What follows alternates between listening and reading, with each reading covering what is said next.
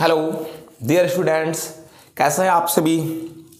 I think you are all very best okay आज हम लोग इस वीडियो में पढ़ेंगे वैद्युत द्विध्रुव की निरक्षीय स्थिति में ब्रॉड साइट ऑन स्टेज पे या फिर अनुप्रस्थ स्थिति में वैद्युत क्षेत्र की तीव्रता इंटेंसिटी ऑफ़ इलेक्ट्रिक फ़ील्ड उससे पहले मैं आपसे एक चीज़ कहना चाहूँगा। आप हमसे कनेक्ट रहने के लिए टेलीग्राम डाउनलोड करें और टेलीग्राम पर ही आप हमें सर्च कर लें द डिफाइन रुद्रा के नाम से। या फिर आप चाहें तो मेरे नंबर से भी मुझे सर्च कर सकते हैं। आए चलिए वैद्युत द्विध्रुव की निरक्षीय स्थिति में वैद्युत क्षेत्र की तीव्रता के लिए व्यंजक निकालते हैं बेटा। तो बेटा देखते हैं निरक्षीय स्थिति वेरी इजियर बहुत आराम से आप देख लेंगे। यहाँ देखें आ, ये मान के चलें कि ये आपका ये ये आपका डाइपोल है जो कि माइनस क्यू और प्लस क्यू से मिलकर बना हुआ है बेटा। और इनके बीच की जो टोटल डिस्टेंस है, उसको मान लेते हैं ट्वेल्व है, ठीक है ना? और मान लेते हैं इनका मिड पॉइंट जो है, वो ओ है, जहाँ से ये इतनी डिस्टेंस यल हो गई तो ये भी इतनी डिस्टेंस यल हो गई। एक ऐसे मीडियम में रखा है जिसका परावैद्युतांक के है। मैं इसकी निरक्षीय स्थिति में, यानी अभिलंबवत, चाहे ऊपर ले लीजिएगा, चाहे नीचे, मैंने ऊपर ले लिया है। मैं मान लेता हूँ कि ये डिस्टेंस जो है हमारी, ये बेटा आर है डिस्टेंस और इसी निरक्षीय स्थिति में आर डिस्टेंस पर, इस पॉइंट पर वैद्युत क्षेत्र की तीव्रता निकालनी है। हम क्या करते हैं? बहुत इजली जो आर्क हमारा है, वही हमेशा करते रहेंगे। यही निकालना है आपको। इसको मान लेते हैं पॉइंट पी तो पी पॉइंट पर सबसे पहले आप एक यहाँ धन परीक्षण क्या रख दें? आवेश रख दें। उसके बाद आए, देखते हैं। इनको नाम ए दे देते हैं, इनको नाम बी दे देते हैं। जरा देखिए तो प्लस इस प्लस को प्रतिकर्षित करेगा। अगर प्रतिकर्षित करेगा तो ये डायरेक्शन बनेगा बेटा। अब देखें माइनस प्लस को आकर्षित करेगा तो ये डायरेक्शन बनेगा बेटा, आकर्षण का ये। प्रतिकर्षण वाला ये और आकर्षण वाला ये। ये तीव्रता जो आप देख पा रहे हैं, ये बी के कारण किस पर है बेटा? पी पर है। इसको आप लिख सकते हैं ई e, बी के कारण किस पर बेटा? पी पर है ये। ठीक है ना? बी के कारण पी पर है। ये तीव्रता आपकी ए के कारण किस पर है बेटा? पी पर है। इसको आप लिख सकते हैं पी पर। किसके कारण? ए के कारण। आप देख लें एक इधर डायरेक्शन में एक इधर डायरेक्शन में। तो पी पर जो नेट तीव्रता होगी ये कहाँ से जाएगी? पी पर जो नेट तीव्रता होगी, ये कहाँ से जाएगी? ये मुझे भी नहीं पता। कहाँ से जाएगी? इसकी चर्चा की जाएगी। पहले हम ई पी बी निकाल लें और ई क्या निकाल लें? पी ए लेकिन आपको इनकी जो नेट तीव्रता है, अगर वो चाहिए तो वो तीव्रता मैं आपको बताऊँ, इनके इसी बीचों कहाँ जाएगी? बीच से। इनके बीचों बीच से तब जाएगी जब ये वाली तीव्रता और ये वाली तीव्रता दोनों क्या हो? बराबर हो। अगर दोनों बराबर ना हुई तो बीचों बीच से नहीं जाएगी। ठीक है? तो सबसे पहले ज़रूरी है, अगर आप देखें इस पॉइंट पर दो तीव्रता है, एक ऊपर वाली, एक नीचे वाली, एक प्लस क्यू के कारण और एक माइनस क्यू के कारण तो पहले आप दोनों तीव्रताओं को निकाल लें। आइए निकाल लेते हैं। ठीक है? निकालेंगे। उससे पहले कुछ और भी देख लें। अगर ये दूरी आर है, ये दूरी कौन है बेटा? एल है। तो अगर इस डिस्टेंस की बात कर लेते हैं तो ये under root R square plus क्या होगी? एल स्क्वायर होगी। ठीक है ना? सेम वैसे ही ये वाला डिस्टेंस भी, ये वाला भी डिस्टेंस वही होगा। क्या? Under root R square plus क्या बेटा? एल स्क्वायर ये भी वही होगा। मैं यहाँ जगह नहीं है, इसलिए छोटा छोटा लिख रहा हूँ। R square plus L square ये भी तीव्रता उतनी ही मतलब ये भी डिस्टेंस उतना ही होगा। अब आपको मैं दिखवा देता हूँ, इसको भी तो फिर ऐसे ही लिख दो, देखने में नहीं अच्छा लग रहा है दोनों चूँकि।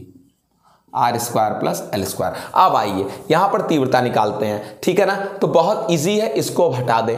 तो P पॉइंट पर तीव्रता सबसे पहले ए के कारण, फिर किसके कारण? बी के कारण। आइए। E P A one upon four pi epsilon zero के ठीक है ना? क्या चीज़?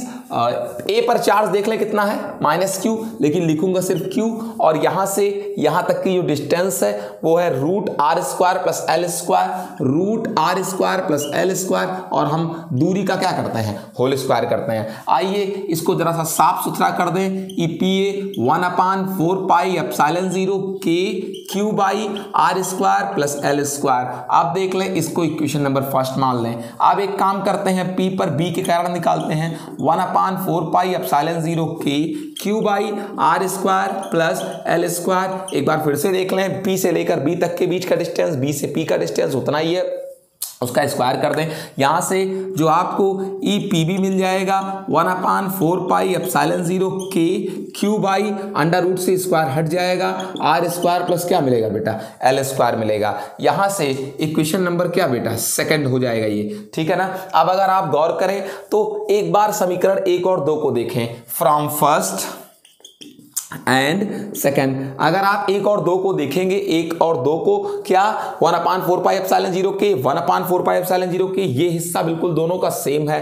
Q upon R square plus L square Q upon R square plus L square ये भी हिस्सा दोनों का बिल्कुल क्या है बेटा? सेम है। तो कह सकते हैं क्या कि ई पी बी बराबर ई पी ए यानी दोनों तीव्रताएँ बिल्कुल बराबर हैं। यानी हम इनको ई मान लेंगे और इनकी value one upon four pi epsilon zero के Q by R plus L square दोनों तीव्रताओं की वैल्यू सेम है। हम आपको दिखा दिए इस चीज़ को। यानी इनका जो परिणामी है, बेटा, वो बिल्कुल कहा जाएगा? बीचों बीस से। जैसा कि हम आपसे पहले भी कह चुके थे कि जो नेट होगा बेटा, वो बीचों बीच से तभी जाएगा। कब जाएगा सर बीचों बीच से? तब जाएगा, कब जाएगा, तब जाएगा, जब ये और ये दोनों तीव्रताएँ समान हों। अगर मैं कहूँ, ध्यान दीजिए आप, ये भुजा under root R square plus L square ये भी भुजा under root R square plus क्या बेटा? एल स्क्वायर तो बराबर भुजाओं के सामने के कोण भी क्या होते हैं? बराबर होते हैं। तो इसको भी ठीटा मान लेते हैं। और दोनों तरफ़ को ठीटा मान ही लिया मैंने। अब क्या कहते हैं बेटा? जरा सा बात को आगे बढ़ाएँ। यहाँ देखें, ये ठीटा तो ये भी ठीटा होगा। संगत कोण, ये ठीटा तो ये भी ठीटा होगा। एकांतर कोण, हमको ई नेट निकालनी है। क्या निकालनी है? ई नेट तो ई नेट निकालने का फार्मूला पहले आपको बता देता हूँ, ये देख लें। अगर दो वेक्टर आपको दिए हों ए वेक्टर बी वेक्टर इनके बीच का कोण थीटा हो, इनके परिमाण जो हैं, अगर क्या हो? ए और बी हों, इनके परिमाण अगर ए और क्या हो? बी हो। तो इनका जो परिणामी होगा रिजल्टेंट रिजल्टेंट का फॉर्मूला होता है R is equal to under root A square plus B square plus two A B और इनके बीच का कोण की कोज्या कॉस क्या? थीटा इसी फार्मूले से हम लोग यहाँ पर ई क्या निकालेंगे? नेट निकालेंगे, जो बहुत ही इजी होगा हमारे लिए। आइए देखते हैं। आइए देखते हैं बेटा, कहते हैं E net is equal to क्या? अंडर रूट ठीक है ना? तो क्या? पहले का स्क्वायर पहले का स्क्वायर मतलब ई पी बी का स्क्वायर तो लिख दो ई पी बी का स्क्वायर दूसरे का स्क्वायर यानी ई e कौन? पी ए का स्क्वायर फिर प्लस टू फिर क्या? पहला इंटू दूसरा तो पहला ई पी बी है। और दूसरा ई e क्या है? पी ए है। और गुड़े कास क्या? दोनों के बीच का कोण, अगर आप देख लें, इन दोनों के बीच का कोण टू थीटा है। टू थीटा है। अब जरा सा आगे बढ़ते हैं। ई e, नेट पर बेटा under root E P B भी हमारी कितनी है? ई e है E square E P A भी कितनी है? ई e है E square two E P B भी ई है ई पी ए भी ई है। कास टू थीटा है। उसके बाद देख लें ई नेट बराबर बेटा under root E square square two E square plus two E square ये भी है। कास टू थीटा की जो है वैल्यू होती है two cos square theta minus one ये फार्मूला है बेटा कास टू थीटा का। यहाँ देख लें ई e नेट आएगा बेटा under root two E square plus two two जा कितना होता है? फोर होता है। E square cos square theta cos square theta minus two E square ये हो गया ये और ये क्या हो जाएगा बेटा? कट जाएगा। आगे देखें। देखें बेटा। तो यहाँ से जो निकल कर आएगा ई नेट बराबर ई नेट बराबर जो निकल के आएगा फोर का अंडर रूट कितना होता है? टू होता है ई स्क्वायर का अंडर रूट ई हो जाएगा कास स्क्वायर थीटा का अंडर रूट कास क्या हो जाएगा? थीटा हो जाएगा। हमारे लिए जो एक बड़ी मुसीबत खड़ी हुई, इसको आप इक्वेशन नंबर फोर मान लें। आप ये मत कहेगा मुझे फोर लिखना नहीं आता। आप देख लें, हमारे लिए बड़ी मुसीबत क्या है? कास थीटा है, कोई बड़ी मुसीबत नहीं है। हम जानते हैं कास थीटा बराबर आधार बटे कर्ण होता है। थीटा से सटी भुजा आधार है और आधार की वैल्यू हम देख पा रहे हैं एल है। उसके बाद बटे कर्ण कर्ण की वैल्यू ये देख पा रहे हैं, कर्ण यही है under root R square plus L square हम देख लिए, आप कुल मिलाकर एल बराबर R square plus L square under root को हम घाते एक बटे दो भी लिख सकते हैं। झम से गिर पड़िए समीकरण नंबर किसमें बेटा?